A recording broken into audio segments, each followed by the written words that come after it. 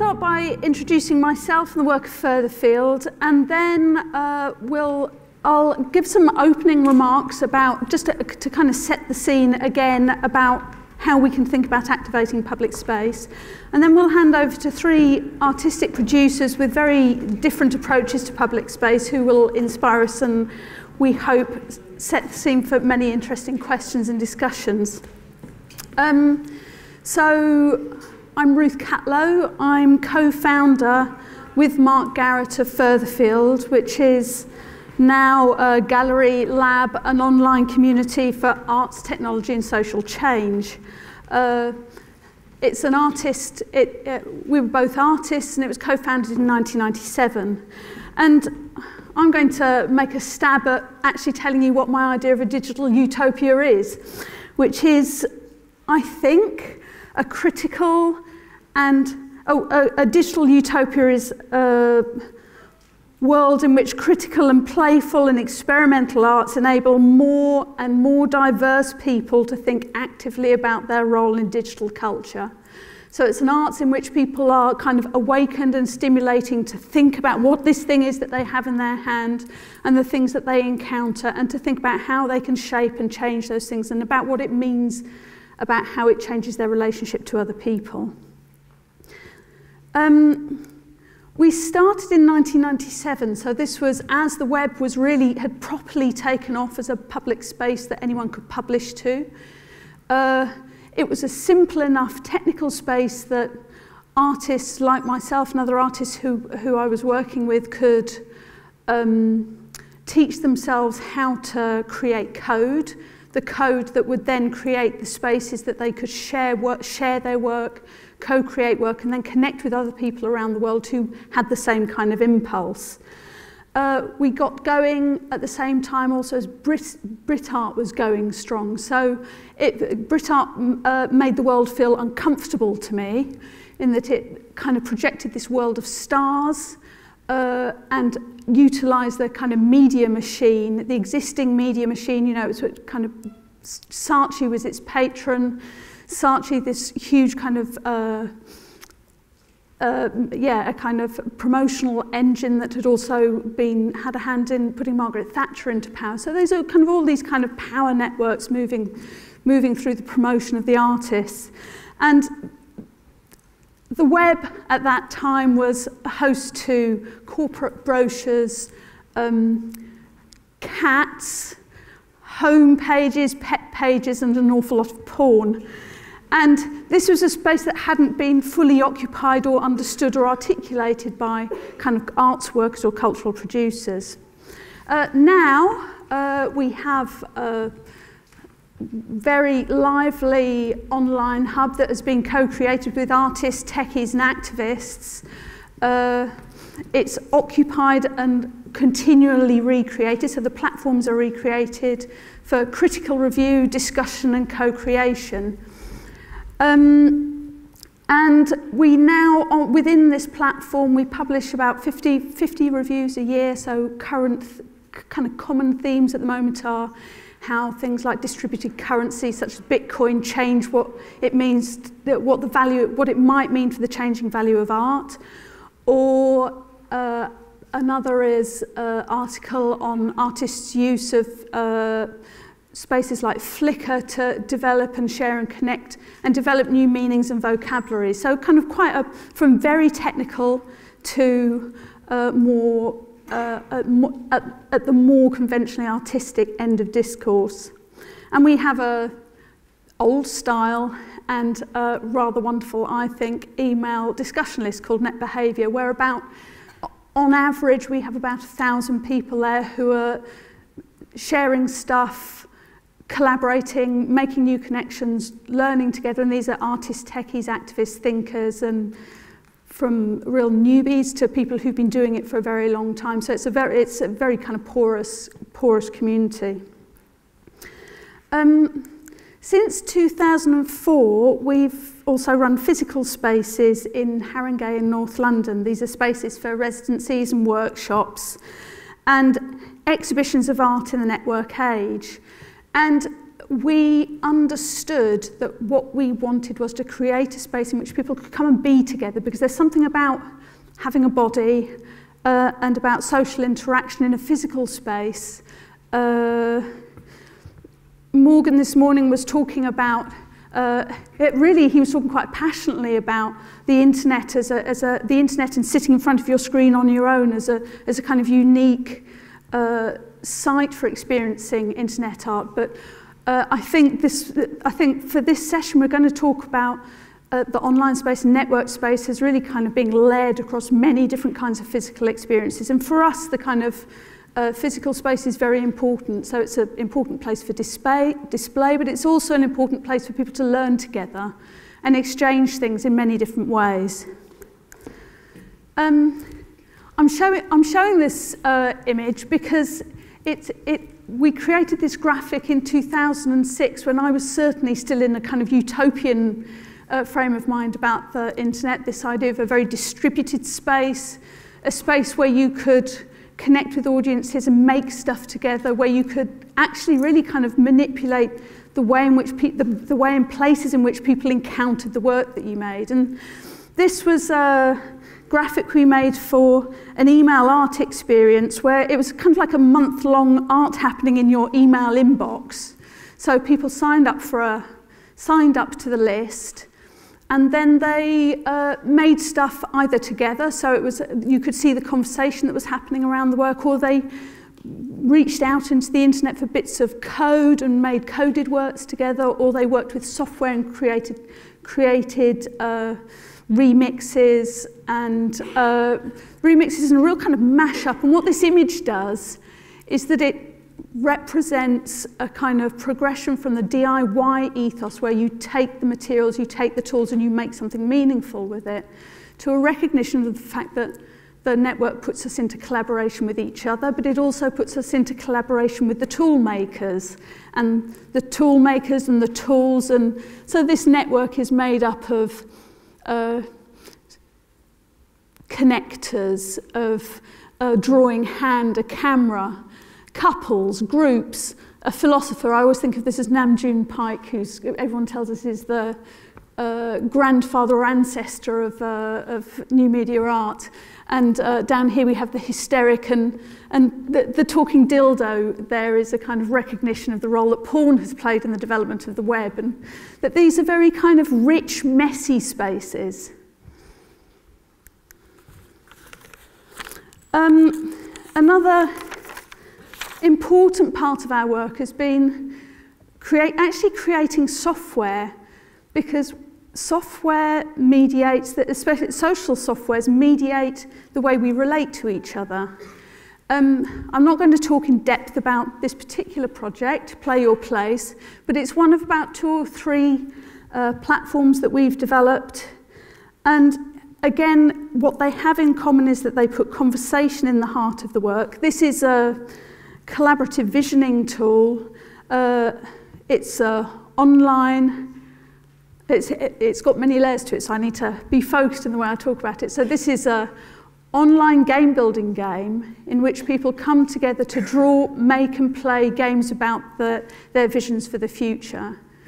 Um, it's built on free and open source software which means that not only can people collaborate on the games that they make and communicate what's important to them, but software developers can then take the code that, that we've created and take it apart and do whatever they like with it as well. So it's got this kind of built into it, as we try to do with all of our platform work. It's this idea that not only are we just using the channels that we're given, but we're understanding that we can take a hold of those channels, remodel them to help us build the kinds of relationships that we want to have with each other. Um, we have an exhibition program.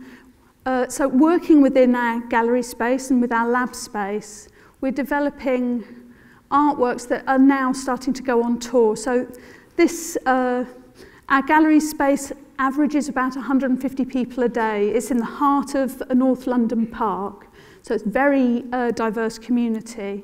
And what it allows us to do is test things. Uh, this work is a work by, we're looking down on it, which is actually a bit of an unusual view, but it was a work that we first showed in the gallery in the park. It's called Kay's Blog. It's by an artist called Liz Sterry, and she followed a Canadian teenager online for three months. She did nothing illegal, and at the end of that, she had enough visual information to build an exact replica of, of her bedroom.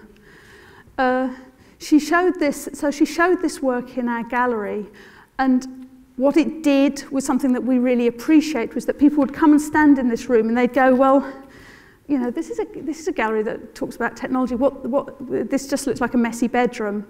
And then you'd step outside and you'd see that a kind of, essentially what feels like a stalker wall of this person. You start to kind of match it up. And you, it prompted many interesting conversations between parents and children or teenagers, and these conversations about what it means that actually now we're all living our lives in public in a really kind of uh, extreme way. And um, all, all of the strand, we have these three strands of shows. So being social is looking at how technology changes the way we relate to each other. Invisible Forces is about how power moves through networks and data. And Free, Open and Wild is about the relationship between technical cultures and ecology and environment. Um, but the kind of fun, the, the basic to all of this is, is kind of really looking to provoke uh, understanding of uh, how technology is changing the way we relate to each other and, and, and, and the way the world is, the, the way our societies are forming. Um, I'm going to very quickly give two more examples. So this is another work by Thompson and Craighead, who uh, we saw John talk this morning. Uh, I put this in, this, was, this work we showed when we first opened our gallery in the park. Uh, it's called London Wall N4. And for the week before the gallery opened, John and Ali scraped Twitter in the location of our gallery for the invisible conversations that were going on between people in, in, in, in a very close location around the gallery. And then they made these posters uh, selecting things that seemed to be most full of local flavour and most full of human interest.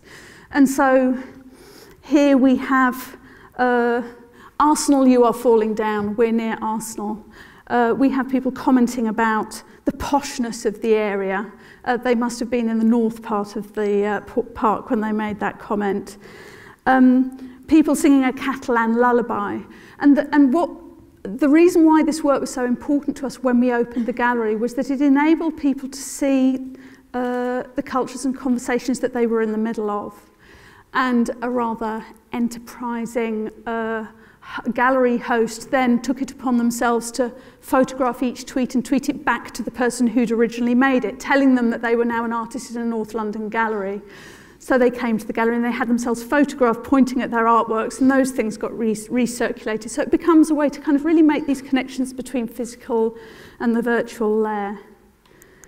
And finally, so some of the works are about technical culture and some of the works are really kind of right in the middle of it. This is uh, uh, the, the final piece of work that I'm going to show you uh, by Shu Lea Cheang.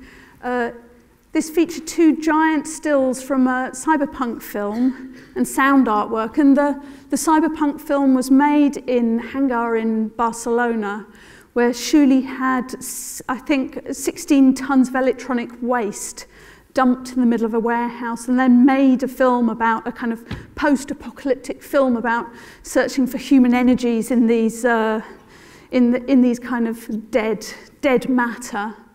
And for this gallery, she turned the gallery walls into a kind of musical instrument. So she took the membranes of keyboards and made a, a pure data patch, which allowed people to come and kind of explore the gallery as an instrument. So uh, kind of really getting their hands on it and kind of making these connections. So that's Furtherfield, and uh, just so you don't leave with this question in your mind, we, we're, we're a Arts Council part of the national portfolio. We have support from the from Haringey Council, and we don't. Furtherfield really is thousands and thousands of people doing many, many things and, sh and sharing a conversation. So it's a, we, we have a kind of small core of people who keep the engine running, but it's a, very, it's a kind of lot of people involved. Okay, so now I'm kind of stepping into chair role. I feel that was a bit naughty, but I kind of wanted you to know who we were, uh, seeing as there are so many great people here. Um, so stepping into chair role, so we've been asked to think about activating public space. Um, and I'm going to state, I'm just going to state some obvious things just so that we can kind of get settled and think about some of these things as we now look at the brilliant work of the, next, of the, of the three people who are going to follow me. So, and please feel free to argue with anything, not right now. Afterwards, you can argue with these definitions and throw in your own. But what is public space? So it's, I propose that it's shared space, space that's held in common for mutual benefit, for commerce, for public de deliberation and antagonistic struggle. So if you read people who write, write about urban space design, these are, the, these are the kinds of things that they'll talk about. And that this, this space is very important for a kind of healthy democracy. It's also, and also important to democracy, is it's a space to encounter and share experience with people who are very different to us. And Another thing to bear in mind as we look at the next three presentations are this connection between physical and digital spaces. So uh, our physical spaces, I think, I think we feel we understand, or we don't even have to think about it very hard. I think we, I think we think we know what digital spaces are. They're, they're parks or plazas or heaths or waterways. And some of this is becoming a little bit more contested as uh, public spaces are now becoming more privately owned. Certainly in London, this has become uh, more of an issue. Uh, but we, we think we know what it is. Digital space is harder to imagine. Uh, it's layering information into physical space through screens, machines, devices, and now implants. So uh, things are starting to move into our bodies. And these things mediate our personal and social reaction, interactions, and this influences attitudes, behaviours, which in turn changes physical, social and political space. So this is, it's, it's got politics in it. Anything we do in public space is political. And I think acknowledging the kind of politics of this context is, gives, gives us a really nice way to then uh, think what the important questions are as we look at the work of uh, the work of the next three presenters. So uh, next up is uh, Molmol, who's going to talk about work of Yes, Yes, No. Thank you. Hello.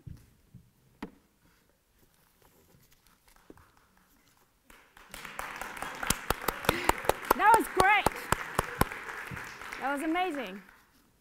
Hi, my name is MolMol. I'm an artist and an educator based in New York. Um, I, I would like to start to first thank Arts Council of England to support the arts and abandon normal, normal devices to invite me to be here. It's an honor to be here in the city today. Um,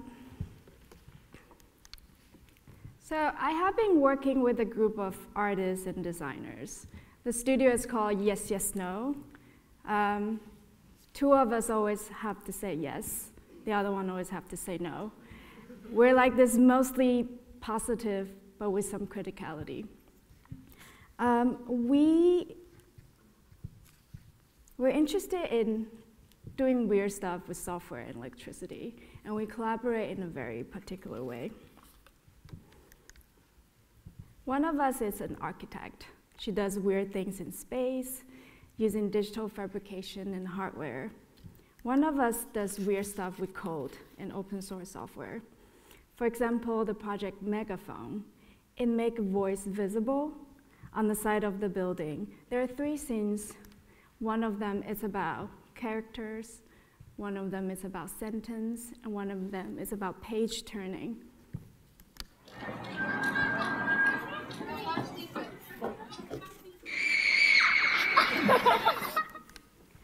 I like make weird stuff with electricity. For example, making things move, make objects interactive and communicate to each other and interact with others. Today, I would like to focus on the subject of communication as a tool to activate public space. I think to create, to, I think to create art made of communication is an important practice, not only for artists, educators, researchers, but it improves our humanity. Ever since I was a kid, I imagined I'm gonna grow up to be this woman who can make things and make things better.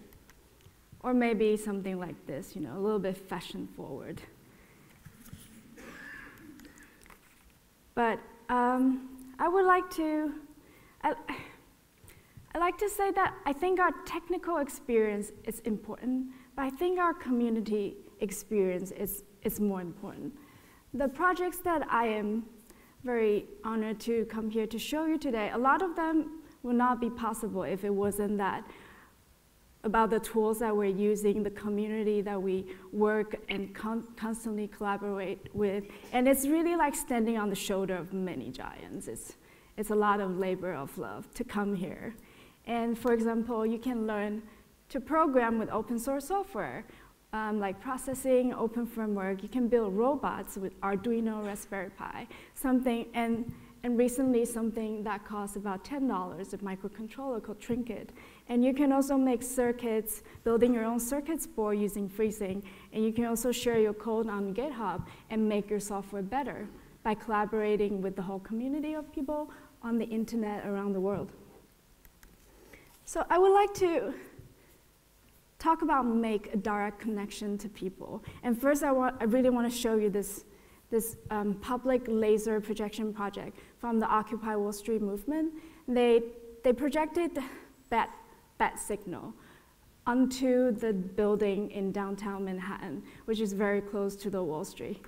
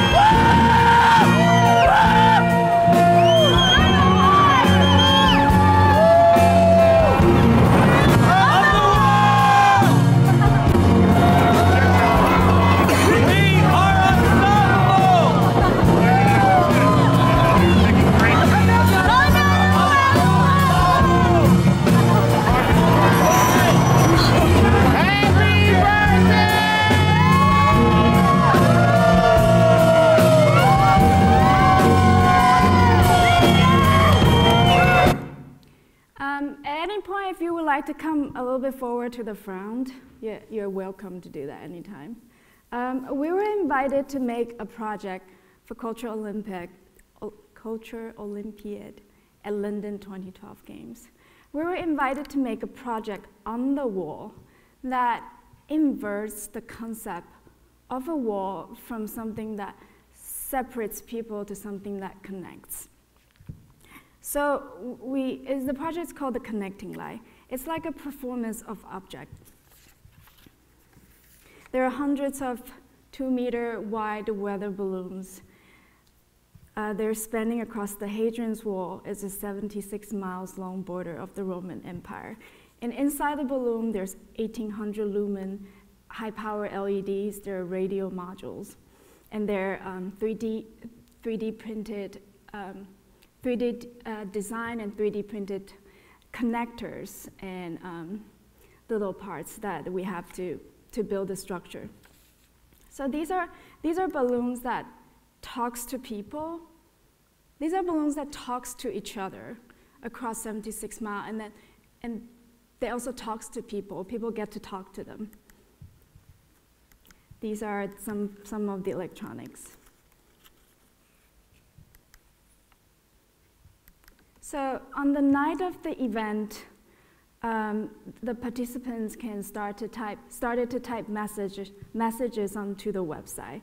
And then the, message, the messages then get to translate into color information. It's, it's, it's almost like some sort of Morse code. And, and then the balloon sends down the message, one next to another across 76 miles.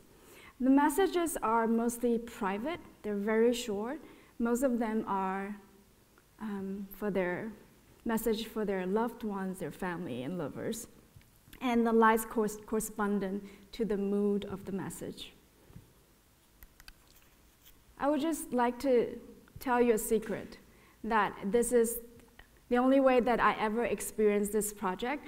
I work on the project, but to really experience the project in front of me is something that I could never do. Every time uh, during the event, I have to we, we were staying in this little office where you can, the only place where you can get Wi-Fi connection on the Hadrian's Wall. And we are just nervously monitoring the system network and the network health of the balloons to make sure everything really works. So the only way that I can really, really understand what the project looked like is from, is from other people's stories. One came out, the place was packed. Yeah. They said yeah. they don't normally see anybody at night. yeah, we, we created a traffic jam. Seeing, seeing people's reaction, reaction to it. Yeah, seeing like, them come on and like all synchronised and people watching them and yeah, yeah, getting excited about them really. How happy the public were It was actually really yeah. exciting in the end. so we're really interested in making project that's magical, that kind of gets people in, in the moment that they never expected to come.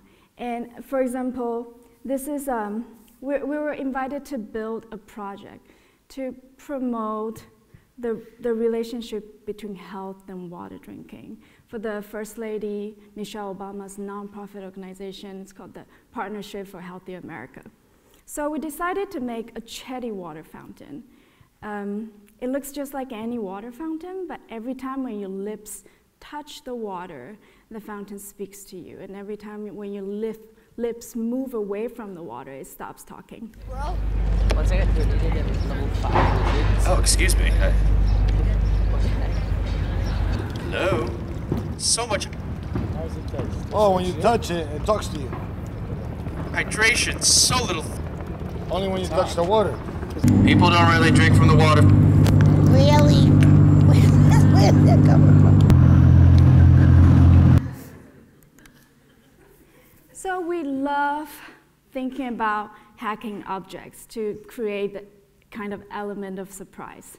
We were invited by Google to connect an object. We were invited by Google to collaborate on the project, like connects an object. And, and we decided to choose shoes. So we take 20 pairs of these off-the-shelf shoes and we turn them into kind of big mouthing shoes with personalities. They are um, a series of sensors which you can find in an iPhone, like a accelerometer, a gyro. And there are four sensors on different parts of the pressure points on, your, on the bottom of your feet. And with a series of sensors, a mobile phone, and a speaker, the shoe were able to, com to comment on, the on its wear in real time.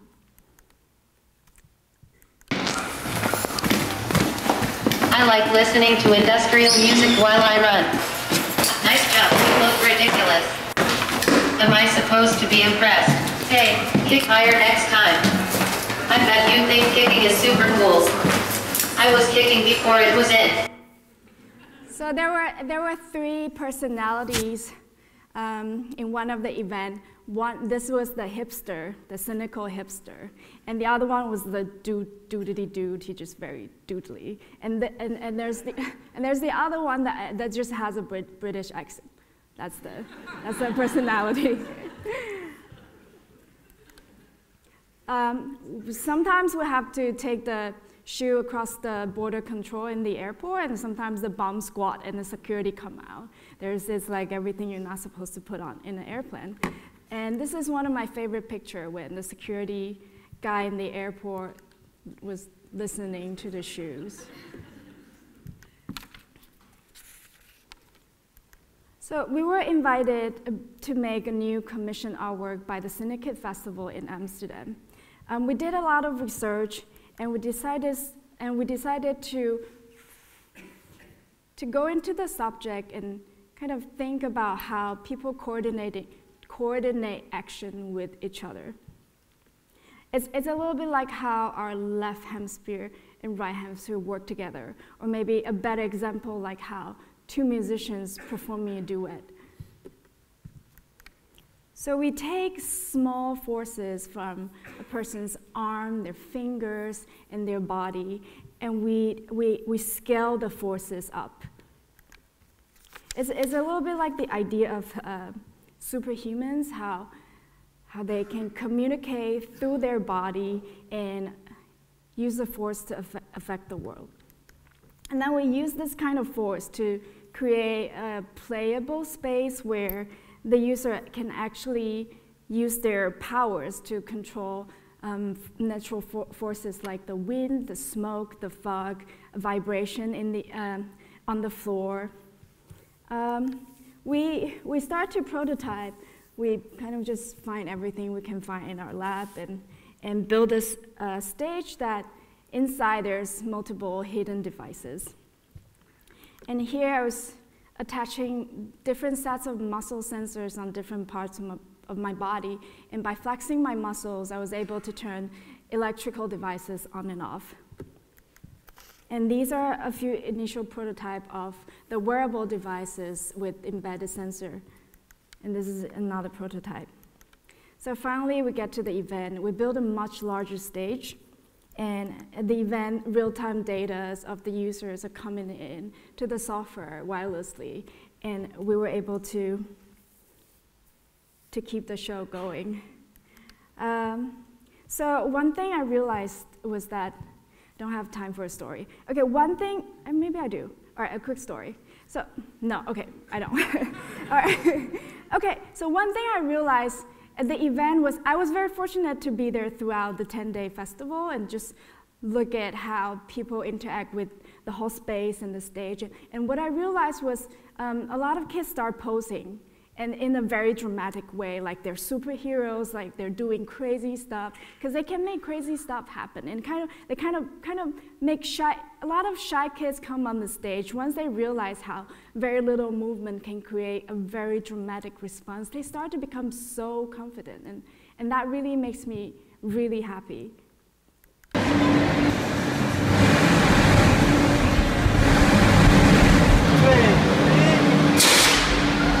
Hey,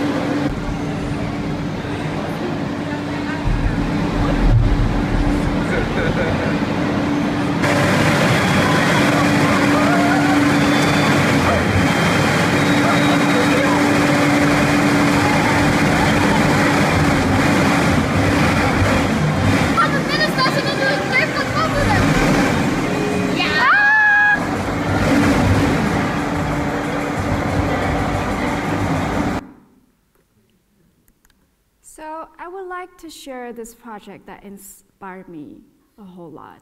It's by Dora Garcia. The project's called The Messenger. It's, it's about the messenger who has to learn by heart to speak a sentence that, that of a language that's unknown to he or she and try to find someone to understand, to understand it.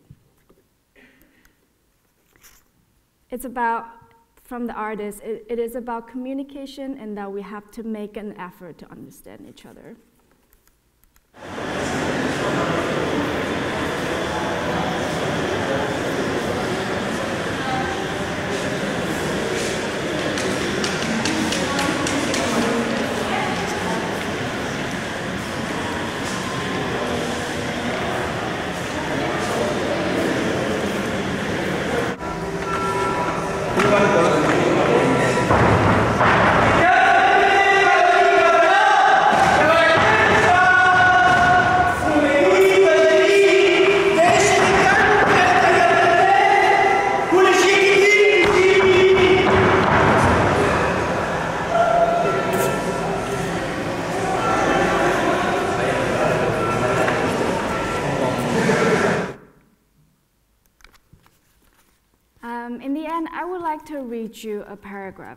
Short paragraph from the messenger's, from one of the messenger's diary.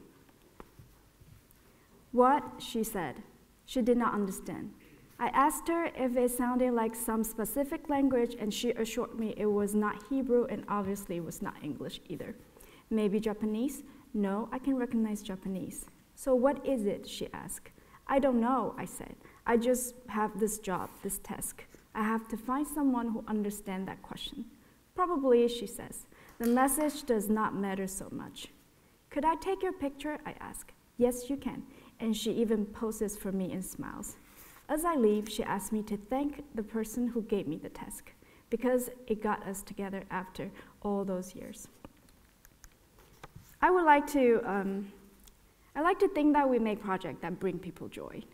And today I want to encourage you to, after the conference, to do something, design a conversational space as offline and low tech as possible. And just make somebody laugh.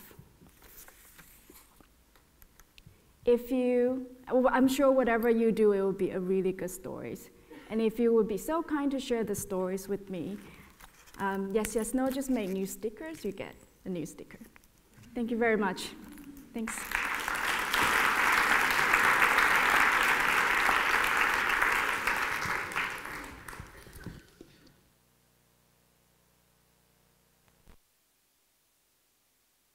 Uh, my name's um, Iain Simons. So I direct a, uh, well, was a festival and is about to become a building um, called Game City. And we work in video games. It's fantastic to be here um, at a, a, technology and arts event that's, that's, that's not completely dominated um, by, uh, by white men like me.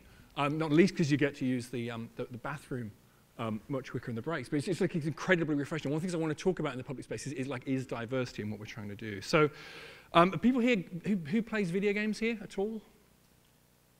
Some people, people know what video games are. We're, we're kind of broadly familiar with the terms, that's right. Okay. Um, so Game City um, to date has been an annual festival. This will be the 10th year that it happens in October half term. Um, and um, it came about through a, a, massive dissatisfaction I had with writing about video games, going around games events. Because the model of mediating video games to the public and to the specialist public to date um, has been entirely predicated through screens. It's get a, get a room as big as you can and put a row of screens in and hand someone a controller and hope that they understand what's happening with the game. So Game City's been about um, trying to interrogate uh, different ways of, um, of explaining, of translating, of, uh, of celebrating, of exploring what um, video games and video game culture could be. I just want to just problematize, just for, before we kind of dive into this, a little bit more what we mean by video games. So for me, um, video games are just a, a kind of really unstable, awkward, messy, clumsy meeting point of kind of every technology, every art form. So they're about dance, and they're about music, and they're about programming, and they're about physics, and they're about maths, about all of these things. And they all meet in this really awkward, clumsy thing um, called video games, which is what um, excites me about them. So, so I just want to give you a sense of what we do at the festival. Sorry, this is like a two-minute um, show reel. Can you keep the volume down on that? Because I just talk. I want to just talk over this video to kind of skip over the kinds of things that we do. So, it will take place all over Nottingham city centre, often anchored around the market square, because it's the centre of a city with a real kind of civic sense that we try and bring to the things that we do. So, like most literally, um, that might be things like this, people dressing up as Pac-Man using the architecture of the city to, like, to become a, Pac-Man environment. Uh, we invite games developers around the world to talk about their work, so people are really important in this. We'll come back to that in a second. Um, we try and walk tightrope between kind of AAA developers and characters like Mario that you might understand and creating a platform for developers like uh, thatgamecompany. It's a game called Flower, a performance that they did of that, um, to introduce people to new kinds of work too. So we're kind of straddling both the indie development sector and student developers and people, and people within the city making things with um, uh, I guess, sort of IPs, they call them, I don't know. So really kind of trying to explode what games are into their constituent parts. Um, a key thing about it, a key thing about um, about games and about making, we, we kind of discovered over, over the course of a few years, which probably should have been obvious to at the time, is about spectatorship and about performance, and particularly um, the kind of performance and spectatorship of creativity. So actually, like, so seeing um, you know, the, the, well. the, kind of flame, if you like, the sausage factory, seeing code um, being created. So this is just uh, this guy called Adam Saltsman who made Canabalt, did a project making a game um, in eight hours in front of everybody in the market square. And even if you don't understand Flash, you don't understand ActionScript, you can get you can get a sense of what systems are. You can get a sense of what logic is, and just a really um, simple, I guess, kind of transparency to um, to what they might be. Um, this is just some people playing kazoos because that's incontestably cool. Um, uh, that's um, Masaya Matsuura, uh, who, the creator of uh, Parappa the Rapper and Father Rhythm Action Game, um, uh, making everyone play Hey Jude at the end of his um, uh, talk that he did with us. Um, so I spoke about this earlier on, a kind of key theme and the thing that's always um, troubled me about the games industry um, is that unlike every, like this room's full of artists talking about their work. You know, we go and see a band and we all know who's in the band, we might even know who wrote the songs, who produced the album, you know, who wrote your favorite novel. You probably don't know who made your favorite game. And this, like, complete absence of humanity from the way that the, certainly the this is changing, and there's maybe like five men that we could name um, that have made games in the world over, you know, over the last 30 years. Um, but broadly speaking, the absence of human beings as creators from public discourse around video games, um, it, it's just, it's, it's, kind of always staggered me. And I think it's one of the, uh, like, the fundamental problems that really breeds suspicion um, in the public around what these things could be, because it's very, very seldom you get to look into the eyes or hear from practitioners actually making these amazing things. Um, and paranoia, actually, on the part of the people who are making this work. So having been kind of kicked around by the, by, you know, by the media for kind of 30 years, and at the same time, at the same time kind of unable to, um, to, to, to, talk to the public, um, it kind of it just breeds a, a, a kind of toxic, um, uh, uh, a toxic environment around them. So Game City tries to be about the fact that games are made by people. It's a really obvious childish point, but not always completely apparent. So we make a point of inviting um, developers, people who make work, um, to the festival to talk to the public, which is quite a, which they don't get to do very often. Um, particularly when we started out, they barely got to do that at all. So, so since then, we've kind of, um, so we started in 2007, evolved to encompass a couple of other ideas, really. Uh, one of which, the obvious one, that everyone um, should be able to play games, so broadening the vocabulary of what games might be, and that means space and form and control and, like, and all those things. But the really, really important one for us, and frankly, for, you know, for the future of video games, is everyone should be able to make games. Um, uh, making it easier for more diverse voices to come into the um, to come into the, the industry, the, the, kind of art form, to be able to, to create new perspective on what games could be is just crucial. And that's the kind of thing that's most exciting um, for me about the games uh, world at the moment, is that access to tools to make video games is just, are just coming down and down all the time. So, so Game City now is about that. Everyone being able to play games and really crucially, everyone being able to make games. So really talk really quickly about the kind of themes of engagement as we see them. So uh, most obviously we talked about participation, being able to make, be able to play. That's kind, probably covered that already.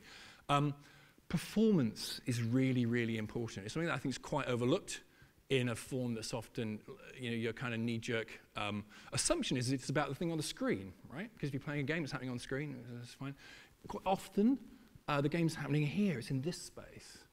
It's, if we're playing together, it's about, um, it's about, it might be, so most obviously about something like SingStar. Does that mean anything to people?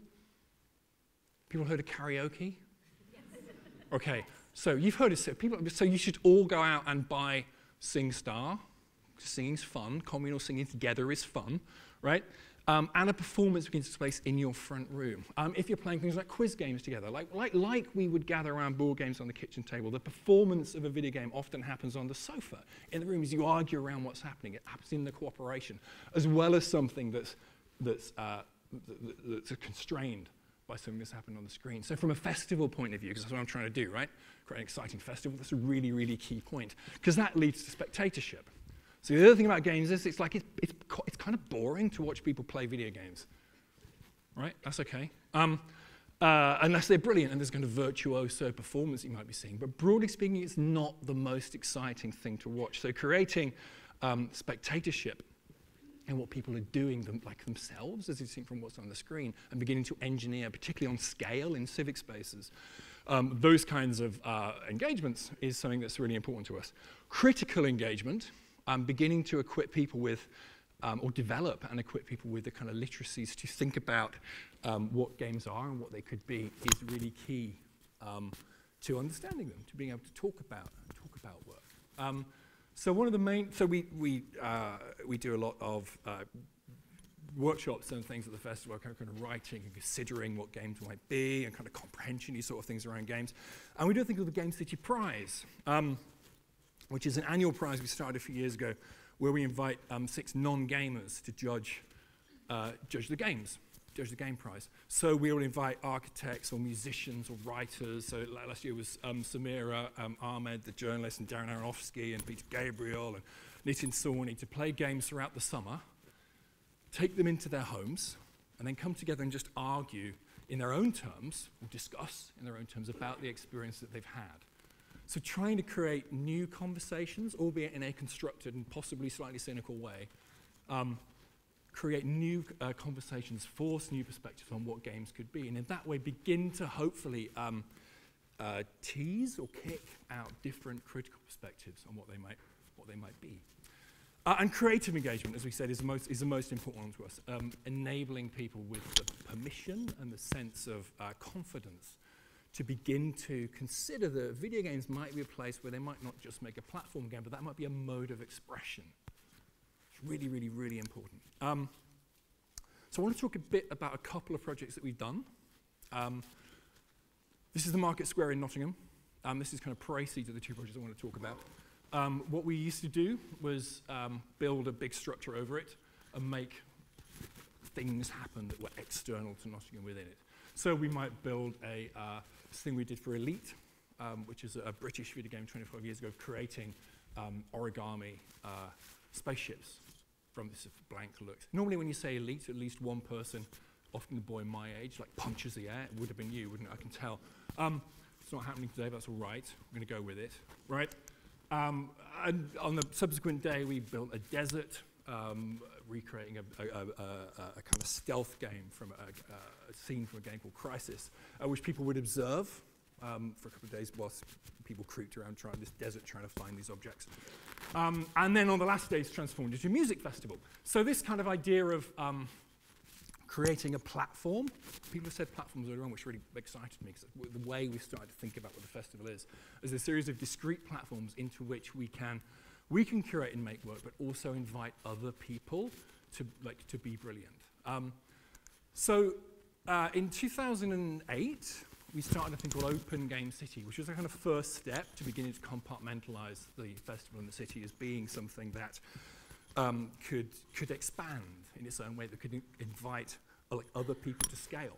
Um, so what Open Game City did uh, was define the kind of component parts of a festival, which is space, um, which is places and spaces where things could happen. Um, so that might be most obviously a market square, it might be a screen, in a bar. It might be like the baked potato salesman guy by Boots. Um, it might be a church. It might be, it could be anywhere, but it's a space um, it, within which um, work could be made or shown. Uh, and Open Game City was, was a site, was effectively a website that would seek to scale the footprint of the festival in the city by matching up these or allowing these venues to match themselves up with makers.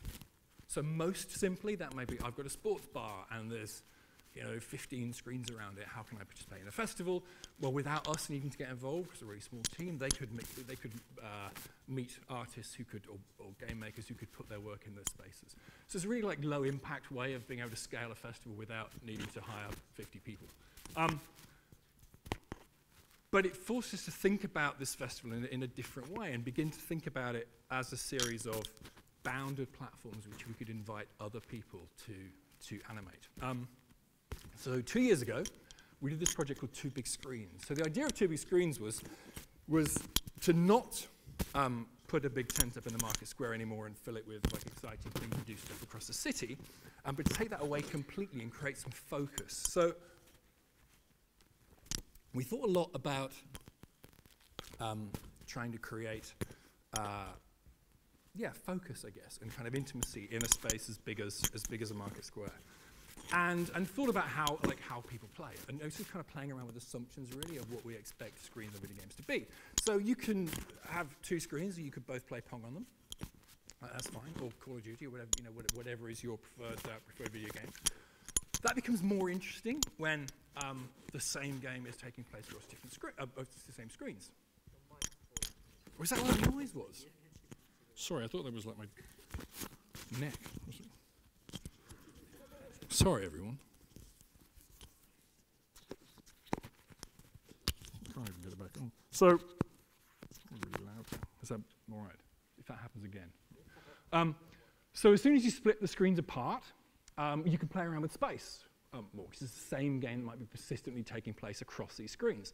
So um, we had uh, this uh, notion to get two big screens, which are about the size of this. Um, so two screens this size, LED outdoor screens, place them in the market square and invite people to make work for them. But the thing about the screens was that every night over the course of the eight-day festival, they would move around. So the, the, the, commission would be based upon the orientation of the screen wherever it was at a given moment. So, um, so they might be um, like next to each other um, on one day, and you could, you know, you could, play, uh, you could play Pong with them. Uh, on a, one screen. Uh, on another day, they might be, uh, they might be back to back. So it might be a game about you being able to see this side and me being able to see the other side. It might be about a different game entirely, about one screen being over there and the other screen being over here, and, and one screen maybe being on the roof of a building over there and one screen being over here.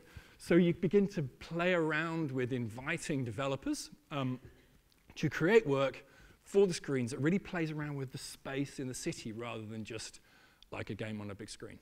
Um, so this is something we did a few years ago. You do it in October if you're going to do outdoor events with screens, might, it's probably best not to do it in England in October. But so there are a few problems with, um, with that. But by and large, the, like the commissions and the work that we got, um, both from the people that we invited and from people just turning up wanting to play things um, on the screens because they heard that these things was there, it was fantastic. It's this idea that you can just make this invitation to people um, to, uh, to create within the bounds of a platform that they wouldn't already, already have right in the middle of, uh, of a free civic space to comment. This didn't happen in the end, sadly. Um, was, was just kind of hugely, hugely exciting, the way that we were able to kind of think about and talk about the festival. So these are some of the things that happen with On It. This is Paul Veer from Vlambeer doing a kind of um, Covent Garden pixel art portraits of, of kids. Uh, it's an Oculus Rift game, so um, if you're wearing the Rift, you can see inside the tunnel, but everyone else can see the maze, so everyone's directing you around it. Um, like, like, like easy and obvious dance mat running along type games. Um, this was a game about them being facing each other, so they're kind of closer than it looks on there. Um, and this, these colors are descending from the ceiling. Uh, Martin Hollis um, uh, of GoldenEye did uh, a game called Aim for Love, which I'll, I'll tell you these, we're going to go through all these now, um, if they're of interest to you. But what we found we got was a really radical, um, varied set of pieces of software that would animate the square in different ways, also completely contingent on the times of day.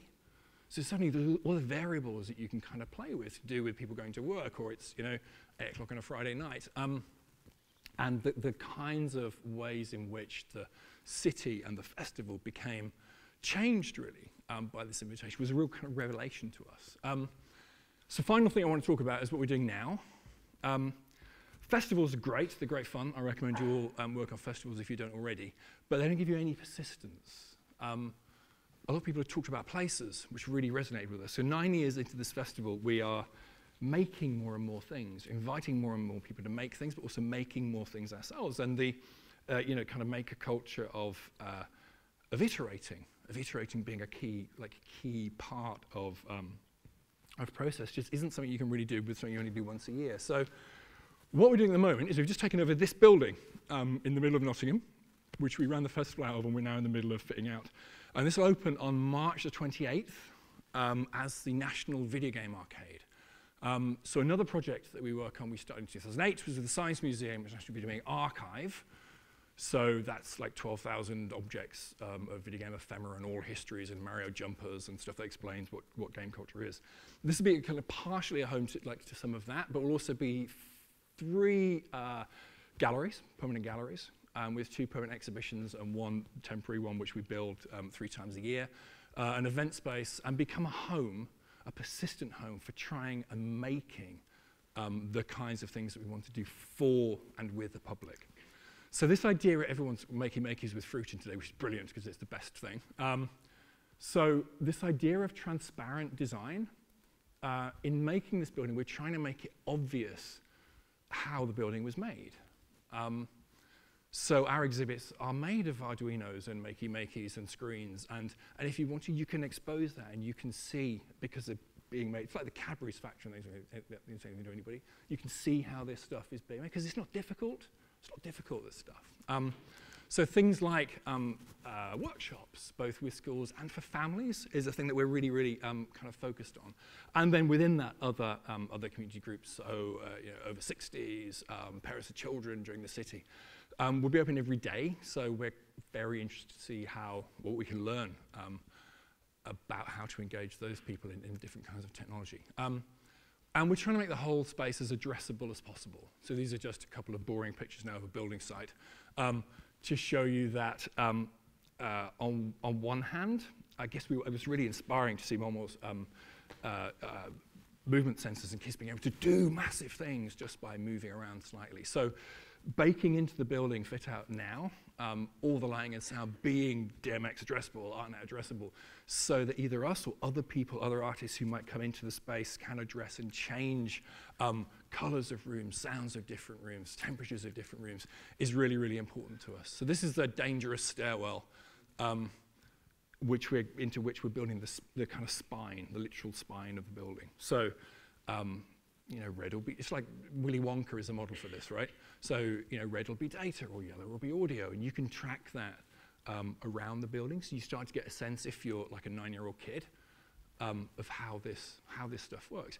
If you're a 19-year-old kid, you can play around the API of that, you know, and script your, um, uh, script your RFID membership badge to make things happen as you go up the stairs. So we're really interested to learn how we can create the most uh, flexible infrastructure for people to make their own ways to play in. That's all I have to say. That's not a very good slide to end on, is it? It's just some stairs. It's just some stairs. Um, um, I'm, I'm, I'm, I'm, done. Thank you very much for, uh, for listening.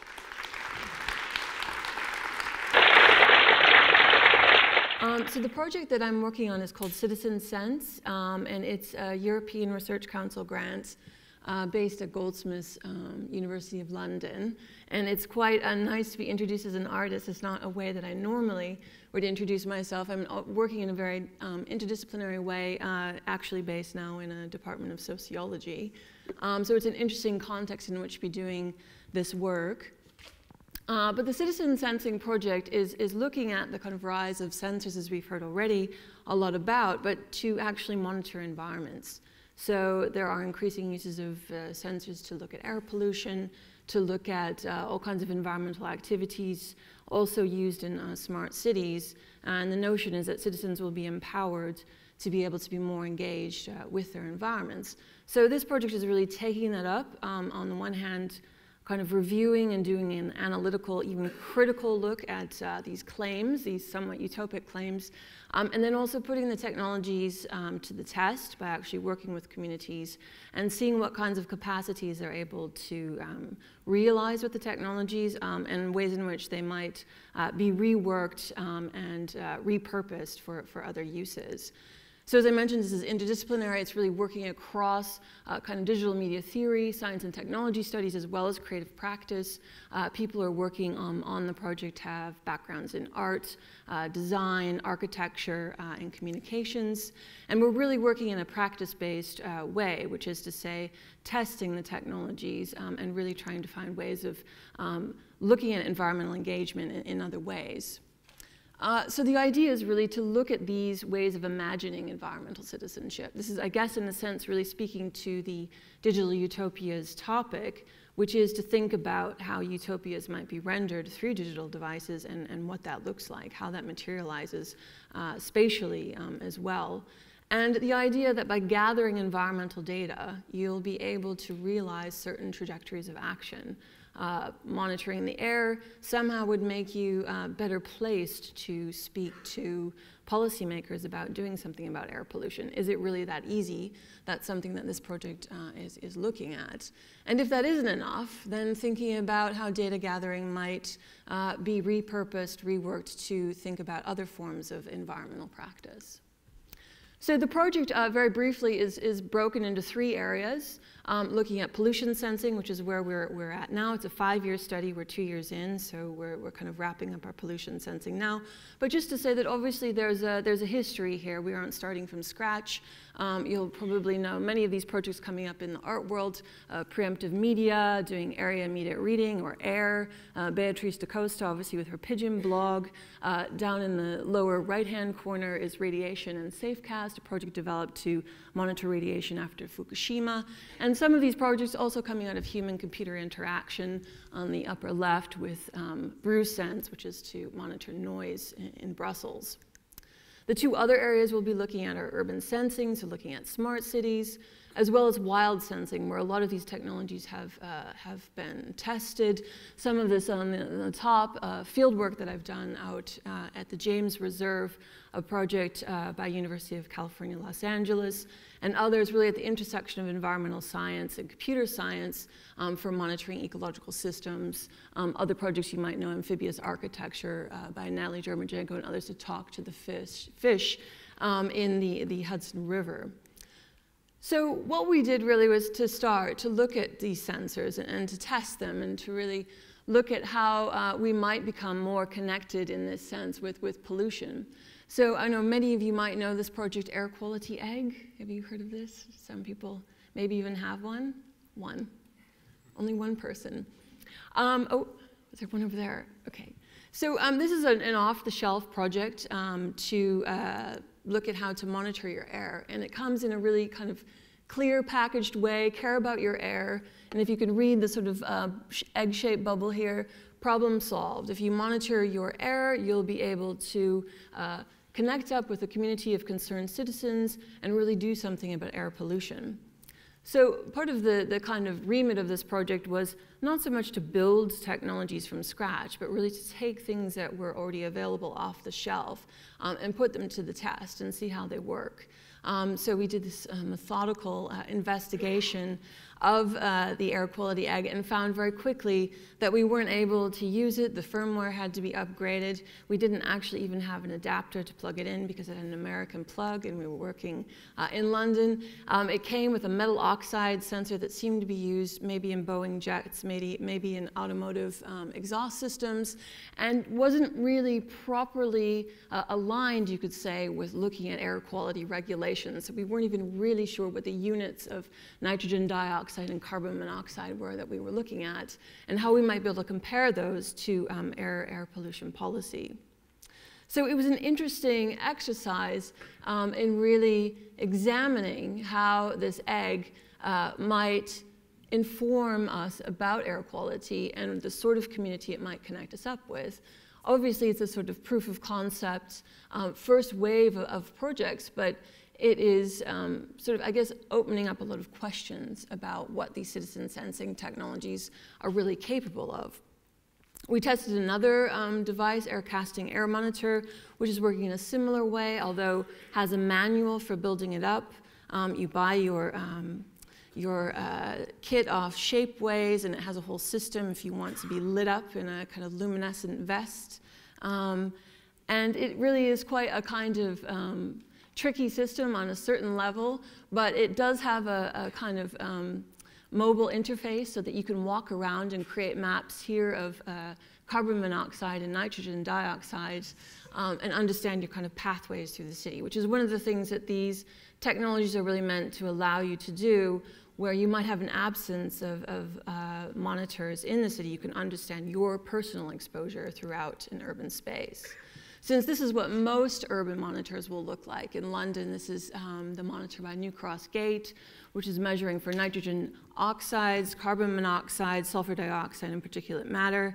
Um, and it's really sort of a, a, black box system. It doesn't tell you much about air quality. So the idea with uh, technologies like this is you have the information, the data much more transparent, and your journeys through the city are also uh, much more available to you. Uh, if you want to look at your data for this, you have one fixed point, um, and you have to go online or use an app to understand what might be the, the exposure for the last um, hour. So one thing we did was take also a, sensor that we developed just using a Shinyei uh, particulate matter sensor and take a walk around New Cross um, on a, an airwalk that we did and, and look at the sort of readings that we were getting against the reference monitor, the London Air Quality Network, um, and also borrowing some kit from scientists um, who manage the network in London. Here in mi a microaethalometer, which uh, measures black carbon, doesn't have a real-time display. But with GPS mapping, we um, work to have a, a, here you can see um, afterwards, a journey mapped, so we could see our exposures of black carbon at certain points. But what do you do then with this data if you're talking about moving forward to um, enact some kind of political change? I think this is a kind of big question. Uh, there's a kind of tracing, a mapping, a kind of individual uh, set of information that you might get, even if you are able to get the sensors to work um, but it doesn't necessarily allow you to um, connect up uh, with uh, kind of political issues. So that's something we really took forward as a set of questions when we were working with the technologies. How then might we take that understanding of pollution sensors, put them to work in a context um, that is really quite uh, controversial and pressing, and we decided to do that in relation to um, fracking uh, for two reasons, really. One is that there are already citizens doing a lot of monitoring in relation to fracking, and also because it's an issue that is really moving from uh, the US now to, to the EU. So our sites um, that we were working on is the Marcellus Shale, which is a very large formation basically over the Appalachian uh, mountain region and obviously has a history of extraction from coal uh, and so on. And here you can see uh, the, the licensing map in the UK. So there's quite a lot of um, movement, you could say, in, in fracking that um, is meant to go on here, although recently with the, the drop in uh, oil and gas prices, that may, that may be suspended. But for those of you who don't know, uh, fracking is a process of, of, drilling down under quite high pressure and then through horizontal drilling, fracturing shale um, and drawing out the gas then um, which is a gas that previously wasn't available or um, could not be accessed without this, this method. So the thing that makes this distinct in, in the US is obviously that many people are able to lease their mineral rights, which is not uh, the case here, um, and can uh, receive quite reasonable uh, royalty checks for, for their um, gas. Uh, so you have people who are previously kind of might have had a, a, failed dairy farm are now able to have a quite comfortable living, people living on a, a kind of modest income as a teacher, uh, leasing their land, um, and able to have a certain amount of income. But not realizing in the process of leasing their land that it's not just a well pad that you're signing up to, it's an entire infrastructure of uh, well pads, obviously the fracking process, compressor stations, gathering lines, um, transmission lines, obviously the truck traffic, the impoundment ponds, and all the rest of it. And each point of this infrastructure, there are um, concerns around water and air pollution. So that's been quite interesting um, to learn more about this process and also that people are, in a sense, um, they're benefiting in some cases from uh, their financial arrangements with the gas industry. Um, so they have different motivations for wanting to monitor. Uh, some of them are anti-fracking, some of them want to hold industry to account. So there's a whole set of reasons for why people want to monitor um, in the first place. But just to give you a sense of some of this infrastructure, here's a, here's a drill rig at an active fracking site. Obviously, it obviously doesn't look like this all the time. This is just when it's being fracked. Um, truck traffic, uh, some people are engaged actually in just counting trucks using uh, very low-tech things like flip, flip cameras uh, to uh, track how much traffic it is, there is. I mean, this is concerning for uh, the reason, obviously, of diesel, which has now uh, been identified as, by the World Health Organization as a very potent carcinogen um, and leads, obviously, to respiratory, pulmonary, um, and cardiac disease uh, compressor stations, which give off uh, volatile organic compounds, as well as nitrogen oxides and eventually ozone. And you can see that uh, people living in these, in these areas are, uh, in some cases, quite outspoken about um, their, their kind of grievances with operators. Uh, there are a whole set of community literatures uh, and, and movements and, and activism to try to uh, engage with operators. But at the same time, people are monitoring their environments. Um, and they're monitoring them in a whole variety of ways, not necessarily um, in the sense of a maker community type of static. Here you have a FLIR camera uh, looking at, at gases, uh, photoionization to look at VOCs, people um, signing up with things like the Bucket Brigade, Global Community Monitor, and just using a really basic bucket and a dirt devil to suck in air to look at VOCs, so the air sent off for lab analysis collecting uh, samples for scientists doing studies, uh, and a whole range of other things. So what we thought we would do is to get a sense of, of uh, the practices that were going on is to create a logbook of monitoring practices and really ask people about who is monitoring, what monitoring are you doing, what monitoring should go on, and what sort of effect do you think this monitoring might have and also to document their experiences with fracking. So we see this as a form of data collection. It's not just that the data is generated through the sensors, so you know how many micrograms per cubic meter of particulate matter you might have, but you also know what these disruptions are about, when they occur, what time of day, over what sort of period, um, and so on. And also looking at sort of before and after uh, so here a site being cleared for, for a well pad uh, after and asking people to kind of document these experiences as, as they're kind of going on. And also asking citizens to uh, submit their own images. Here you have images of flaring, which takes place to release the, the pressure from uh, gas to look at monitoring that's going on here. Another citizen image from uh, looking at the Environmental Protection Agency that comes and monitors on a really sporadic basis. So one of the reasons that people wanted to monitor was because they could be doing it all the time, um, have real-time uh, information, and when something occurs, can actually capture it. If they, they notice a pollution event, they have to either call up the state or federal uh, authorities and ask them to come up, which might be some time later. So they don't feel there's a kind of data that corresponds to their experiences, which is why we're really looking at experiences data as much as uh, sort of air quality sensor uh, material as data.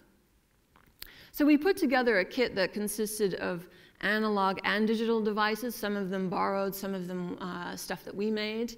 Uh, we worked with just a basic uh, analog badge that senses uh, certain kinds of volatile organic compounds.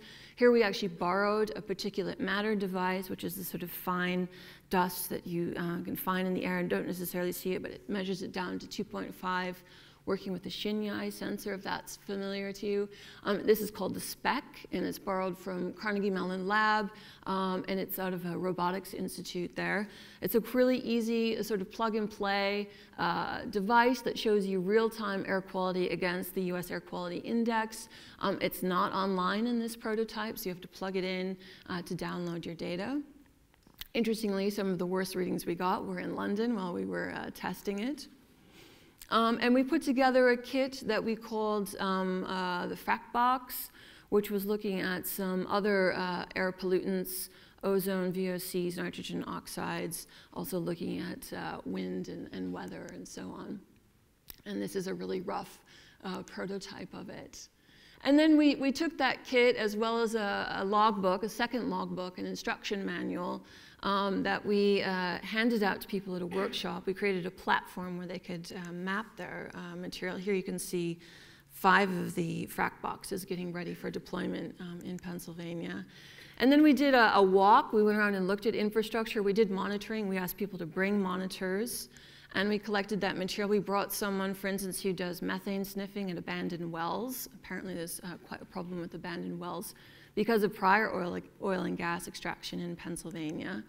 Um, and we handed out the kits uh, in a workshop, uh, had various speakers, and we also went around and had uh, site visits at people's homes to help them set up their uh, kit um, and test it. And so we found that some people had really interesting um, uh, capacities and skills for you know, taking the stuff apart, fixing it, asking questions, really challenging the, the devices, um, saying, well, this isn't going to, to do anything anyway, but I'll do it because, uh, you know, it's a, another thing to try. Um, making modifications so they can put their Speck outdoors, a form of uh, kind of really low-tech hacking um, so that they can get sort of material over time. So we've set up a really, really basic platform for people to map and, and get access to their data. Um, and it's been interesting to look at the sort of uptake with this and the, the sort of um, spatial uh, understanding of, of, air pollution that is really at a fine grain uh, and is, is something that we're now looking at how to um, kind of work with people to do a, a, DIY approach to even data analysis um, is something that's coming out of this. And really taking up the notion of what is, uh, what is a kind of um, good enough data. There's this phrase that's circulating within kind of various environmental communities of just good enough data um, that it might not be a, a, regulatory standard, but it's data that you can do different things with. You can look at change over time. You can see what your neighbor's data um, consists of. You can use it as data for leveraging other kinds of studies. You can talk to politicians with this data. So this is a, a kind of concept that we're working with to, to think about the material that we're getting off these uh, sensors. So here you can see one of our camouflaged uh, frack boxes in the field. Um, and uh, that's about it. We're, we're sort of um, almost all the way through with doing that study, although we're doing still a lot of the, the, the data study. Um, Citizen Sense is myself with Helen Pritchard, Nerea Calvillo, and Tom Keene. And if you're interested in keeping up to date with what we're doing, citizensense.net, and uh, there we are at Twitter as well. Thanks.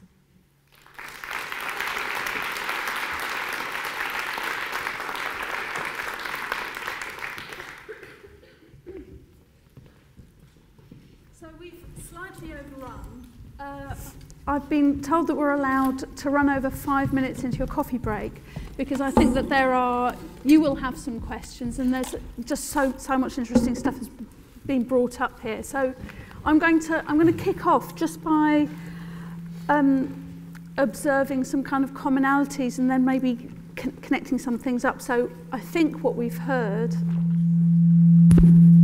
who is that? Stop it. Okay.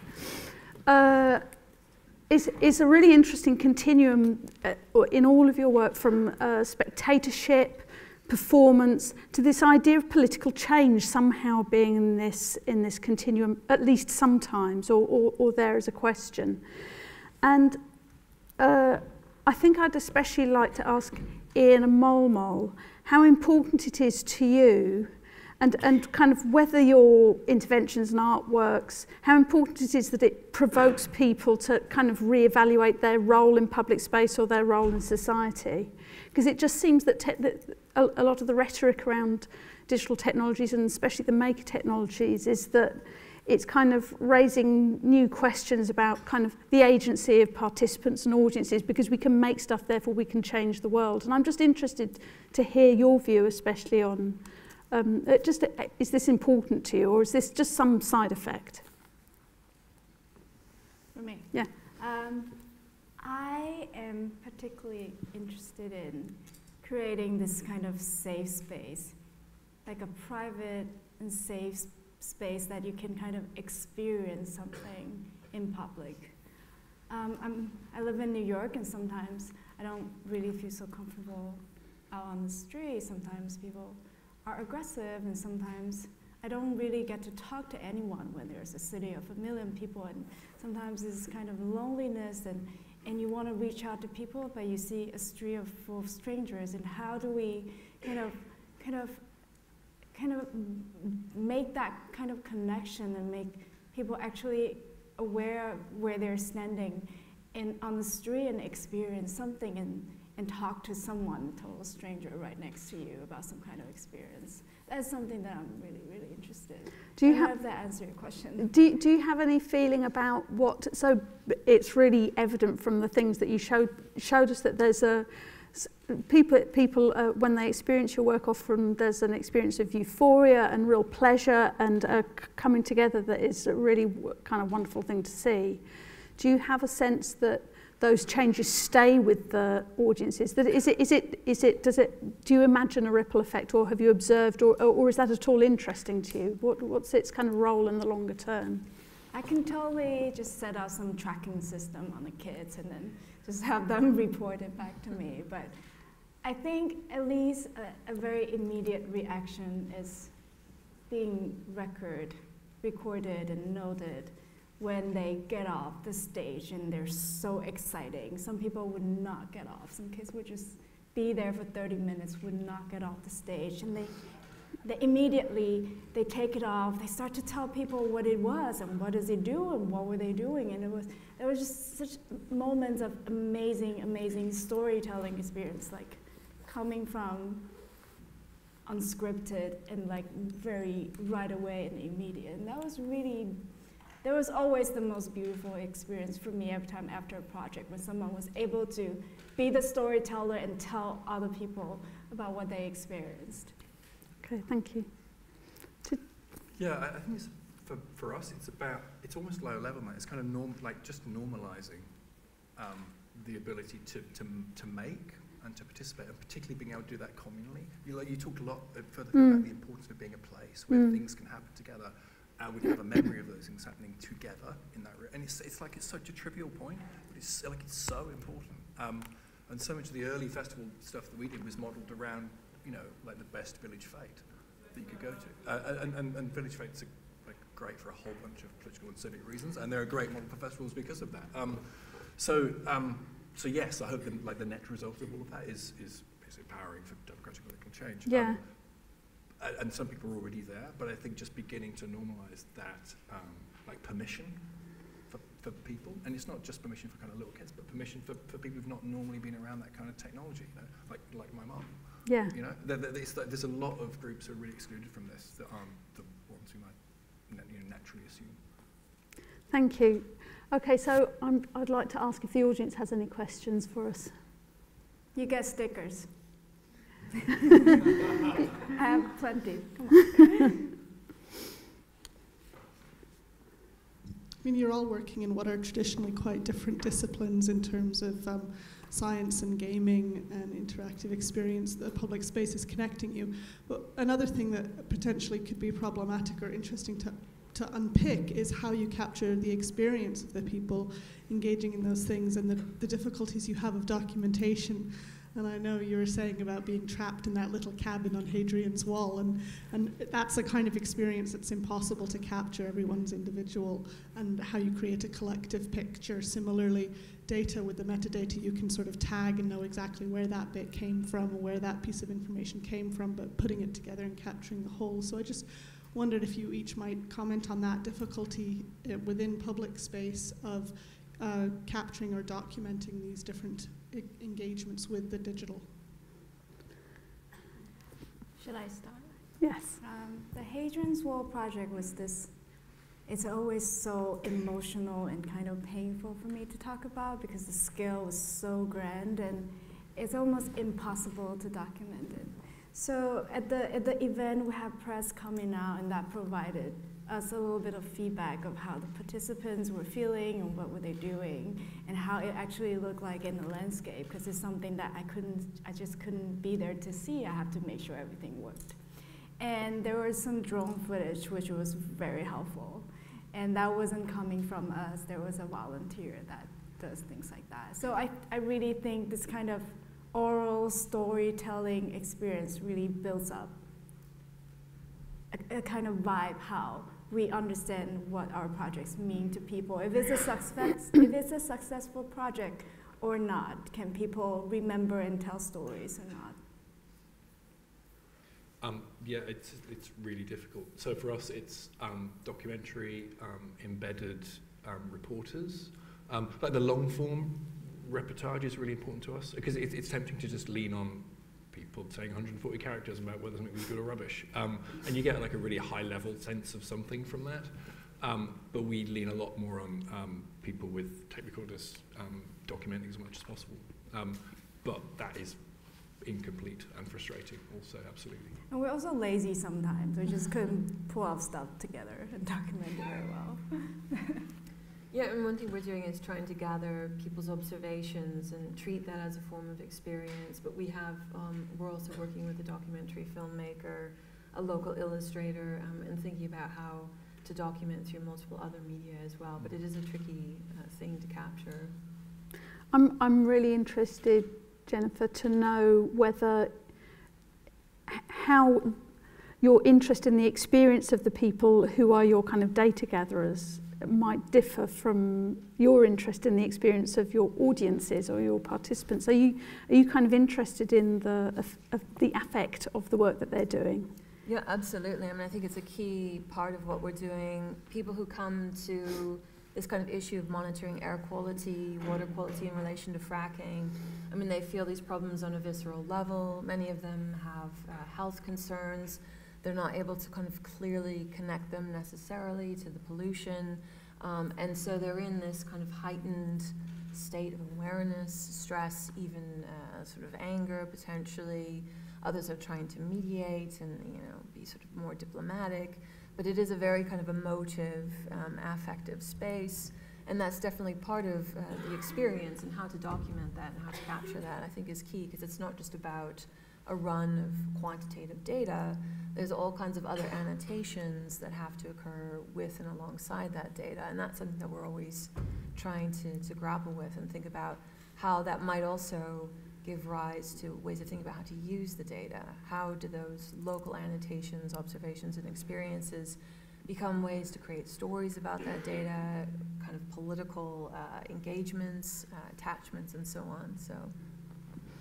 And I'm also going to answer the question. Uh, uh, so we have the same, you know, you, you do all the normal things, I think, which is asking people about their experience and sometimes asking them to use social media to tell us what they feel. Uh, I think with some of our work, often there's, uh, there's usually some element of our work which is about people creating things as part of a public experience. And I think we look at the things that people create as a way to understand what their experience is of the, of the kind of wider picture as well. And so we're starting to see this kind of loop happening where people experience things that other people have made and then they're creating things in response to those or from their own kind of shared experiences. And this, I think, is something that's quite particular to the moment that we're in in digital culture in public space as well, is that so many of our audiences and participants is participants are turning into producers. Yeah. And I'm, it, I mean, if we had more time, I think a question, an interesting question would be to think about is what this, what this space looks like in 15 years' time, when all the, the, the young people who are participants in these processes are grown up and are produce a, kind of making a living, or you know, it becomes their reason for working as yeah, well. Absolutely. Yeah. I mean, for us, that's why it was so important that that, that it was a place. Yes. Space. So there's some persistence to that, and you can build on it. You can iterate on that. You can get some like rhythm to that creativity. Yeah. You just don't get annually. I think we need to wrap up. Mm. Uh, thank you, every, everyone, for your attention, and thank you very much for brilliant presentations.